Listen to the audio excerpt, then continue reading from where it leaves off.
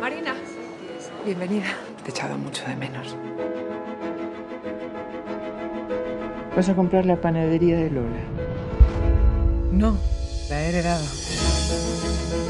Nuestra abuela tenía el 20% de la propiedad de esta panadería. ¿Le puedo preguntar qué relación tenía nuestra abuela con Lola? Había trabajado de criada en su casa. Su familia de Lola. No, no la conocía de nada.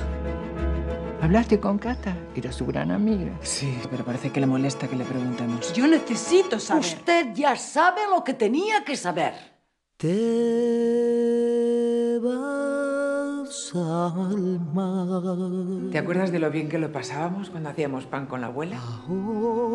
Ella hubiera sido feliz siendo repostera o cocinera. Esa es la maldición de la mayoría de las mujeres que no pueden ser lo que les hubiera gustado ser. Un puñado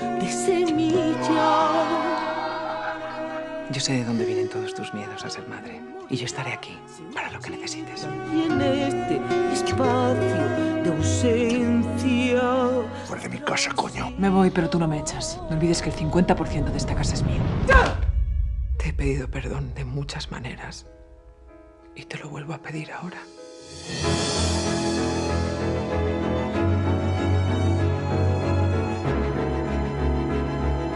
Me voy a quedar unos días más a ver qué averiguo. Y ahora que ya habéis vuelto a ser buenas hermanas, me vais a explicar de una vez qué os pasó para que os dejarais de hablar durante 14 años.